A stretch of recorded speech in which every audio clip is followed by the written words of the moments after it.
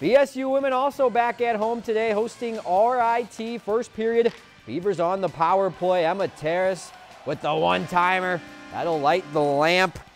No, nothing home team. Then later this time, shorthanded Haley Mack, though, breakaway. Look at the move she puts on the goalie to score. Beavers up by two. Then the second. Even the defense getting in on the scoring fun. Alexis Joyce press one home from the point. Beavers cruise their second straight win.